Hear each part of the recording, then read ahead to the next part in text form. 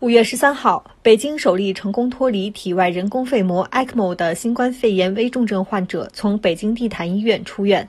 出院当天，七十九岁的康复患者马奶奶及家属向医护人员送上鲜花，表达感谢。回忆起与病魔抗争的九十八天，马奶奶记忆犹新。到这儿整个后来我听说抢救、发烧、昏迷，我都不知道。等睁开眼醒的时候。各位领导、医护人员都在我跟前，关心我，还想尽各种办法照顾我，帮我恢复健康。是这些亲人救了我，给了我第二次生命。我一定争取再活二年，一百岁，一百零一、一百零二。据医生介绍。马奶奶从二月五号入院，病情一度非常严重。二月九号晚，她的情况再次危急。刘景院主任率领团队为老人安装 ECMO，开启生命保卫战。ECMO 支持过程中，实际上实际上一直是在走钢丝，要各种各样的这个平衡。比方说这个，呃，这个血液大量的血液引出来，那么需要抗凝。如果抗凝的剂量要偏大的话，就容易出血。不断不断的去找平衡。第二个要这个挺过感染关。啊，在这个防治这些并发症的同时，也要促进他肺的功能恢复。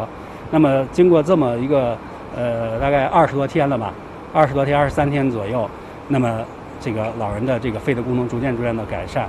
在北京市危重症救治专家组十四名支援护士的日夜救治下，二月二十三号开始，马奶奶连续核酸检测均为阴性。三月三号，她顺利脱离 ECMO，缓缓进入康复期。五月三号，她彻底摘掉了呼吸机，拔掉了气管，切开套管。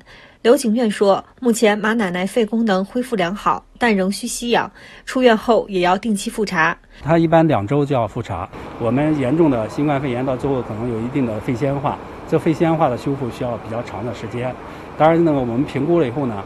他在家庭养疗的情况下，那么老人是能够自己那个呃基本的生活，还是可以自己可以走一走呀，上洗手间呀，这样的话是可以的，有家里面协助。